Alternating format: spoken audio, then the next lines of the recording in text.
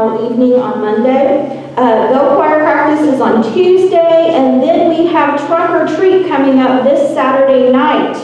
Everybody say, yay, candy! All right. So um, one of the things with Trunk or Treat that I wanted to share with you is uh, we're going to be having all of the trunks outside on the parking lot here at the corner of 4th and Madison at the church. It'll be a completely outdoor event, and so uh, be prepared for that. But it looks like, according to the weather forecast, we're going to have beautiful weather. The thing I need for you to do is to let us know if you're planning on coming and having a trunk at the church so that we can plan our spaces because we're going to have the kids stay in the cars with their parents and drive through. It's going to be a drive-through trunk or treat, and we're trying to make sure we've got it planned so that we can uh, get everybody navigated through correctly. So if you'll just uh, give us a call or send a text or email and let us know that you're going to have a trunk or, trunk or treat, that would be absolutely awesome. Also, we're taking donations of candy to the church uh, to give out at trunk or treat, and uh, that's pretty cool too. The other thing I wanted to mention to you is that uh, Charge Conference is on Sunday, November 8th. It's going to be a virtual Charge Conference this year. I've been telling everyone it's going to be at 3 o'clock. I found out the other day it might not be. The district office is still trying to figure out how to navigate the uh, online virtual charge conference piece, but if you are interested in being a part of that virtual meeting, you're more than welcome to attend. Just let me know so I can make sure and get you the information as we get that information. Also today, we are going to be having a time where you can turn your pledge cards in for your annual commitment to your financial giving to God through this church. If you've not brought that with you, those of you who received one in the mail, we've got some extra ones at the entrances where the ushers have been. So we'll have that during the offering time that they'll actually be placed in the offering plate rather than in a box up front. That way you all can stay seated.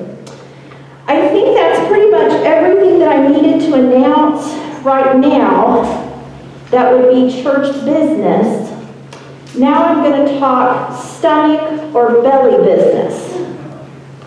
There are still apple pies available for sale from the United Methodist Women. And beginning not tomorrow, but hopefully in November, correct Barbara? They're going to start making pecan pies. I say that, and I'm glad I have a mask on because it's catching the drool coming from my mouth. They're so good. So if you're interested in those, be sure and call and reserve one for you. That's all the belly business because it's not quite lunchtime yet, so let's focus ourselves upon God and not our bellies and begin this time of worship.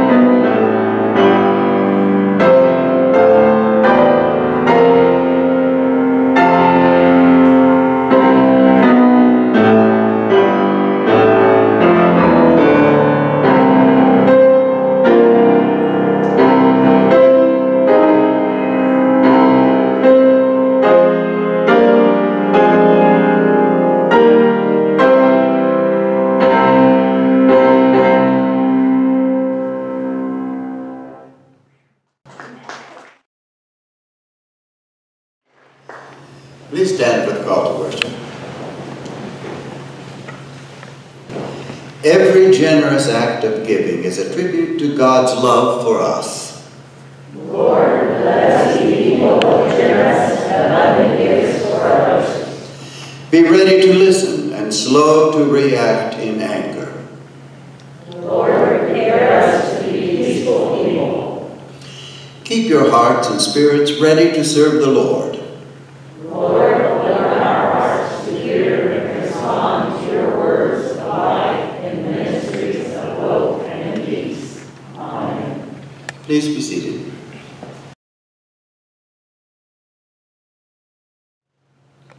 Let us join in an attitude of prayer.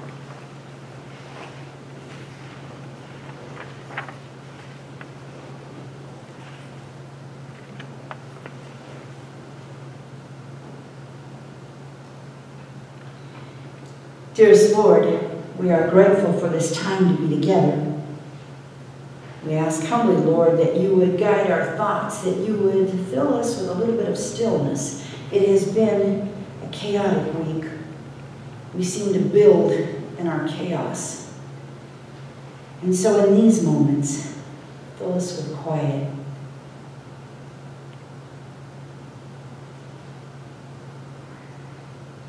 You, Almighty God, know prayers of our hearts. You know the things that have unsettled us this past week. You know the things that have broken our hearts. And you have been with us. You are with us in the heartbreak. You are with us in the joy. Help us to remember you are with us in all things. Your generosity of who you are is ever around us. Things clamor to take us away from you. Help us to stay focused. Help us to stay centered. Us to remember that everything we do reveals our relationship with you. Every single thing. And masks or no masks, you know our hearts. Sometimes the face gives us away, so the masks are interesting. Lord, the heart, the heart that sometimes we let get a little hardened. Sometimes we let it even get arrogant. Forgive us.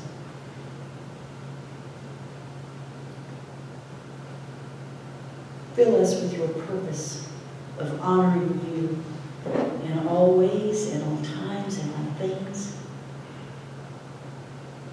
We acknowledge, God, that everything we have comes from you. There are times we live like we forget it. But this moment, today, we're lifting it up that every single thing we have comes from you, every blessing.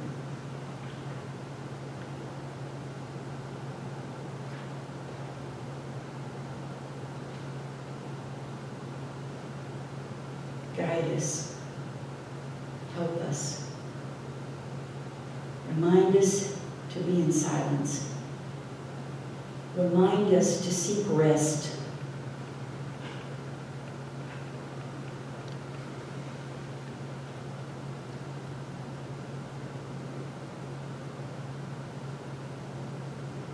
Fill us and use us. It is in the name of Jesus that we pray, our Jesus, who taught us to pray. Our Father,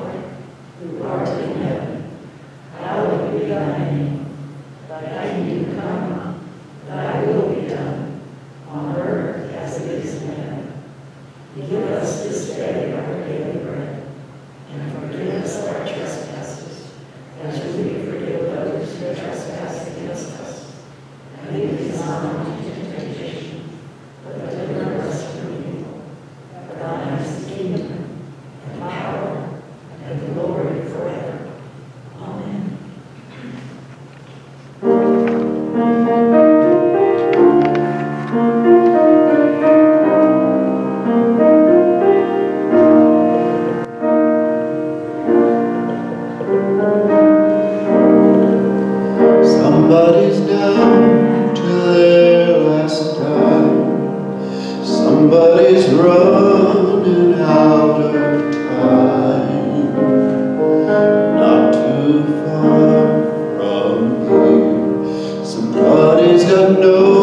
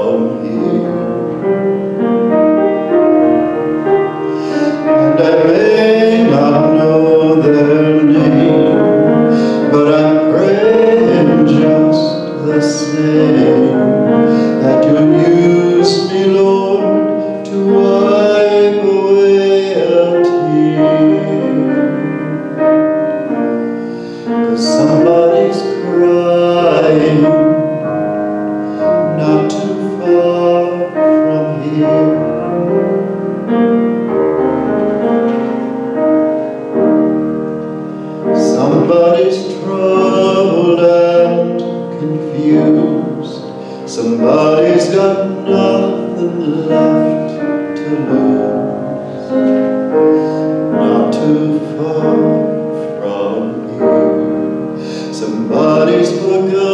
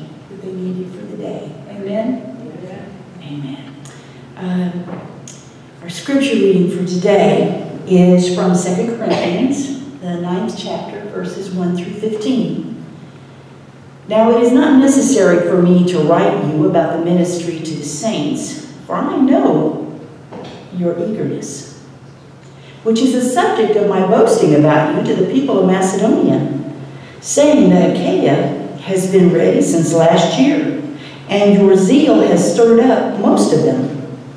But I am sending the brothers in order that our boasting about you may not prove to have been empty in this case, so that you may be ready as I said you would be.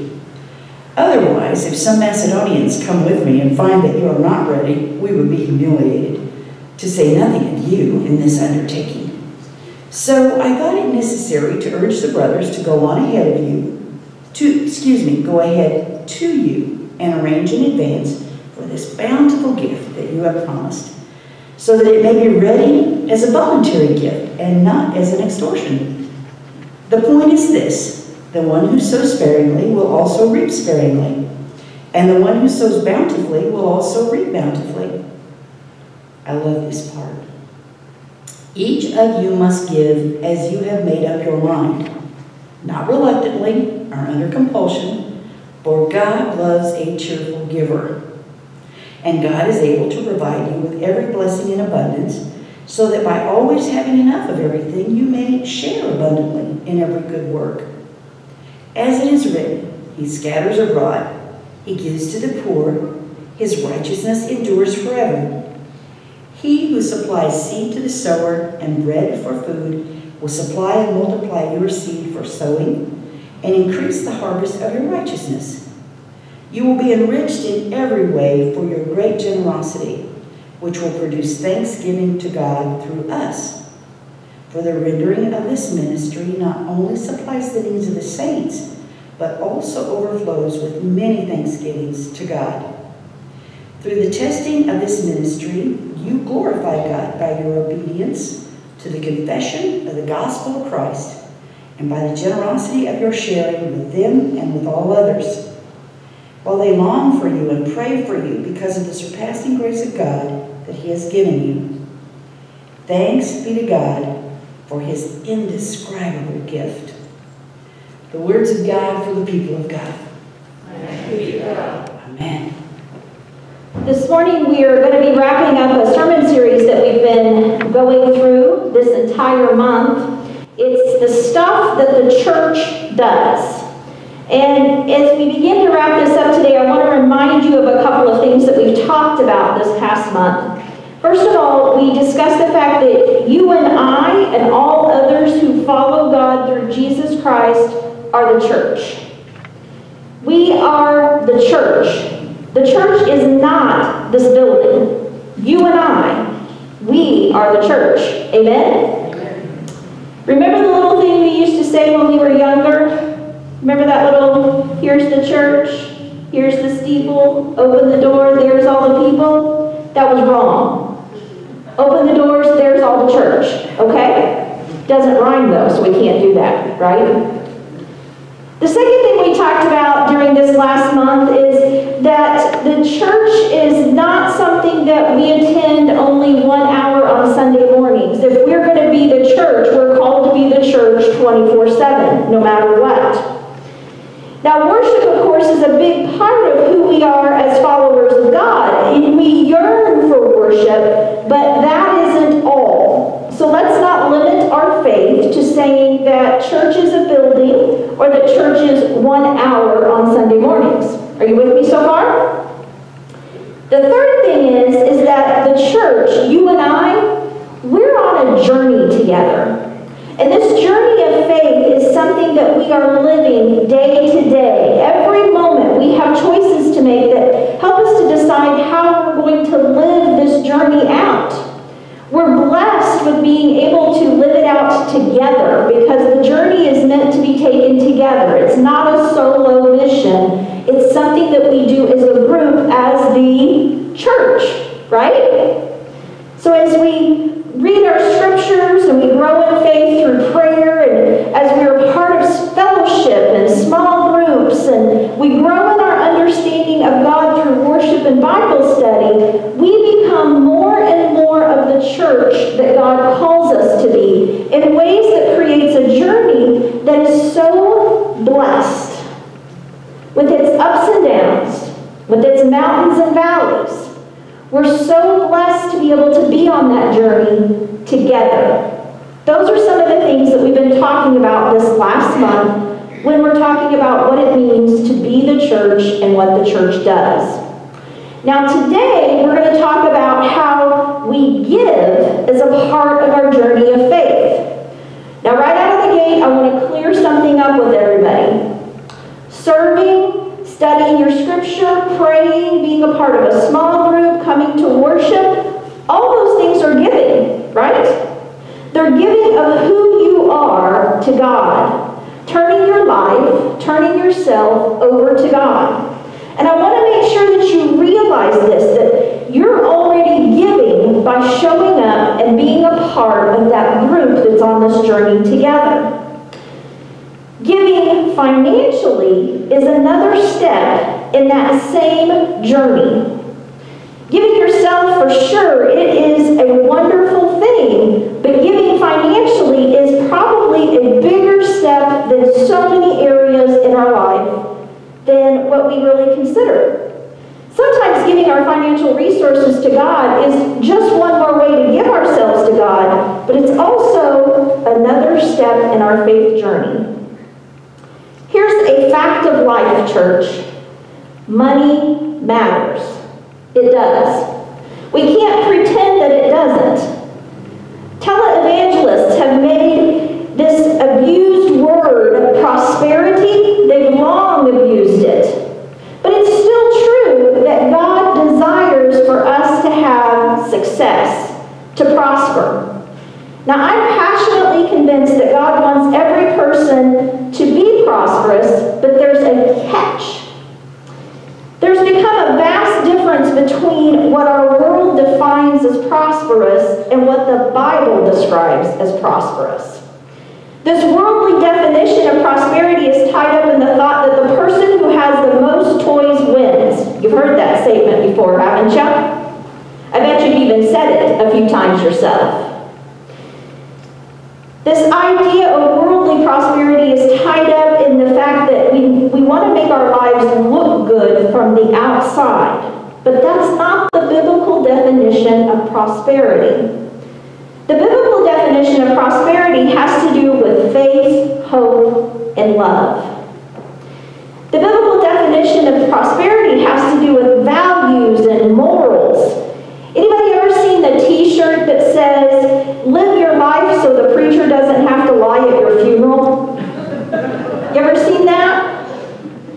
You know, the biblical definition of prosperity has to do with faith and hope and love. Prospering in those things.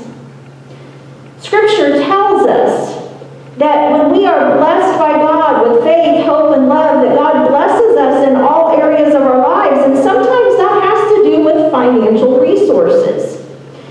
And Scripture tells us that with great wealth comes great responsibility. And God is who will provide for our needs. Sure, we play a part in providing for our financial needs, but God has a major role in it. I want you to pay attention here, church. God provides for our needs, not our wants. God wants us to live a prosperous life by biblical definition. So, how can we do that? We're bombarded every day with all these images and stories of success that's defined by worldly terms. Don't you agree? How do you live biblically when it comes to money and wealth?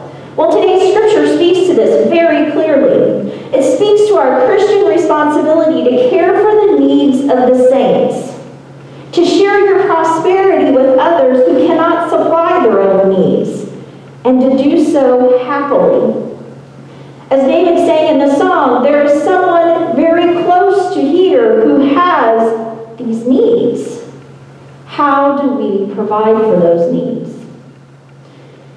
You know, God blesses us with prosperity, not only to supply the needs that we have and the needs that others have, but He does so in a way that we are called to glorify God in being able to do those things. We're not called patting ourselves on the back at all, not to grumble either in a sort of way that makes you, you know, seem like that you're being a saint yourself for giving. The scripture reminds us that God wants you to give because you desire so, and it fulfills your faith, your hope, and your love to do so cheerfully. God doesn't want your guilt money, church. God wants you to give because you desire to give and because you're cheerful in doing so. God wants you to give because you understand that that is one more step in your journey of giving all of yourself over to God. So, church, you have to decide how you're going to define prosperity. And you need to decide whether you choose to give and live biblically.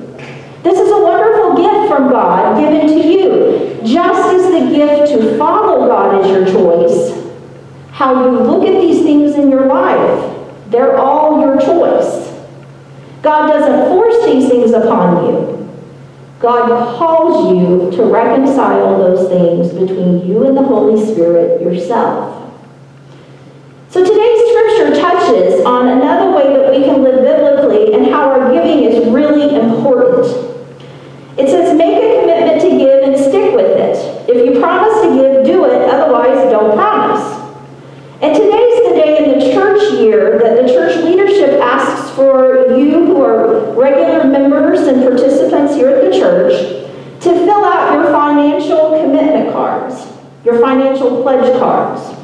Many of you received these in the mail, and you might have brought them with you the last couple of Sundays. Received them or you forgot it at home like I did, yes, the preacher forgets things, okay? They've got, we've got some available at each of the entrances. The ushers would be happy to bring you one if you need it here in a moment when I want to give you some time to fill it out. But today is the day that we do this because it's important for us to take next steps in our journey. And you'll notice on the financial commitment card, the pledge card, that we even offer a spot there where you can check off, I'm taking the next step in my journey. I want to share something with you about steps. When my husband Vince and I first became a part of a worshiping faith community, the first Sunday that we attended church was the Sunday that, like today, where they were talking about financial commitment and pledge cards. So as two people who didn't attend church regularly as young folks, I went with my granny when she'd stop in her big old Ford LTD and pick me up on the way. But as people who didn't grow up in the church to understand all of the functions of the church, the ministries of the church, the mission work of the church, we walked into a church for our first time as a couple to worship, to hear, plan how you're going to give money to the church. And one of the reasons we were in church that day is because we've been fighting in our marriage about money. Wow. Number one, did God not know where to send us on that first time we went to church together?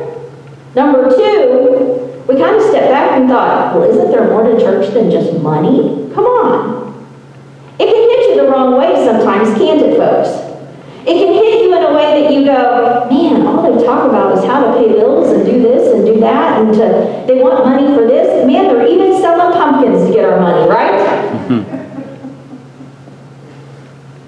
it took my husband and I a little while to figure out that money matters in all areas of life, even in your faith journey. There are stories written about the early days of Christianity where folks were coming by the thousands to be baptized and to be new followers of God through Jesus Christ. And they would come, specifically the Roman soldiers, this was written about. And they'd walk into the waters to be baptized, except they would take their purse Yes, guys, you carried purses back then. They'd take their purse and they'd hold it above the water while they were being baptized. Not because they were worried their purse would get ruined by being wet, but because they were willing to give themselves to God in all areas except their finances. I want you to let that sink in. Because that's the situation my husband and I found ourselves in many years ago. We were happy to give ourselves over to God, except when it came to our finances, we wanted to fight about that. It took us a while to figure out what that meant to turn everything over to God and to trust God. But once we did, it worked out really well. And there have been times that we have filled out commitment cards and we've not been able to honor our commitment. Things like that happen. We've even had a bump in the road this year where that's happened, where I've had to a couple months cut back on what we gave to the church and I plan to make it up by the end of the year. Those things happen in lives. But here's the thing. You got to be willing to trust God to lead you in the directions that your gifts and graces He's blessed you with will help you to lead. Because this thing called our faith journey isn't just about me, it's not just about you, it's about us. It's about the folks that David sang about. It's about the folks who need our help.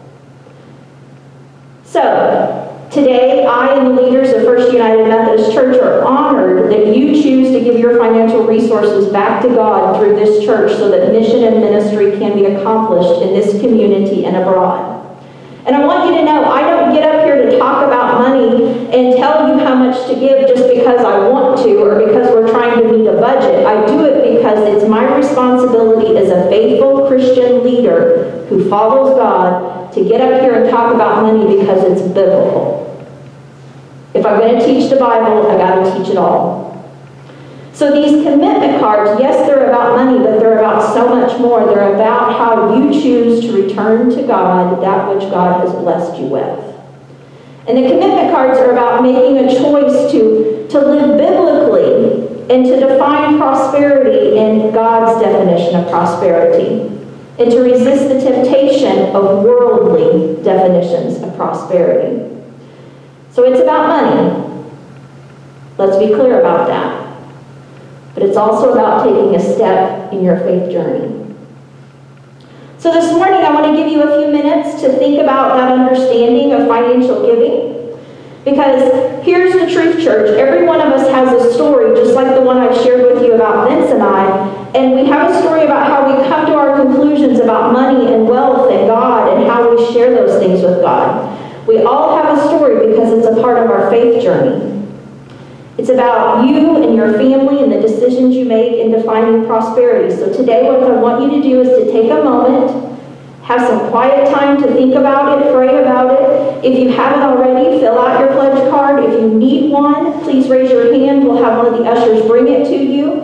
And then we're going to take a few moments to offer a prayer before we take our offering today so that you can place your morning offering and your commitment card into the plate at the same time.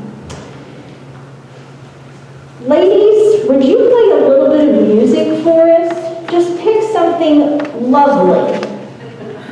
You've already played several lovely pieces already.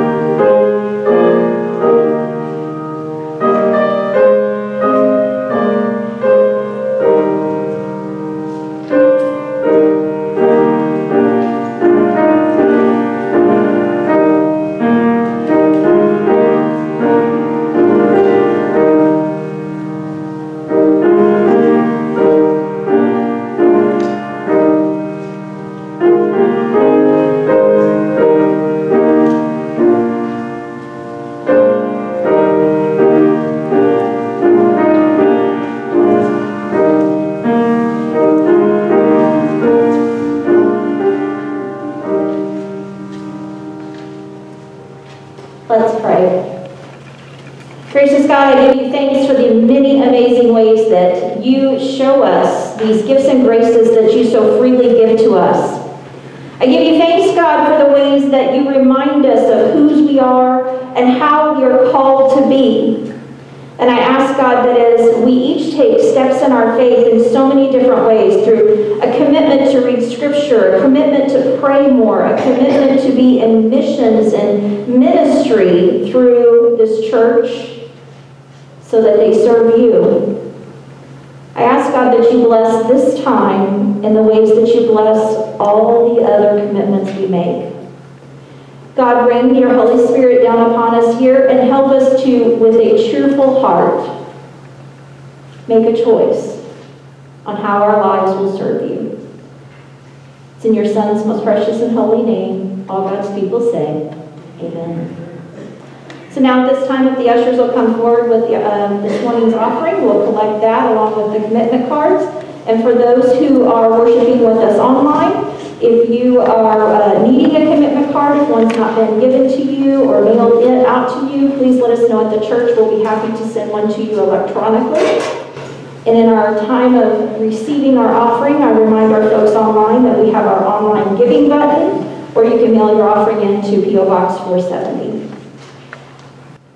Father God, we give you thanks over and over and over again just for the gift of this beautiful life that you blessed us with. And as we return these commitment cards, these offerings, as we, God, put ourselves before you in uncompromising ways, as we put ourselves before you unconditionally, we ask God for you to take us, to use us, to guide us, direct us, even push us when we seem to be too thick-headed to get it.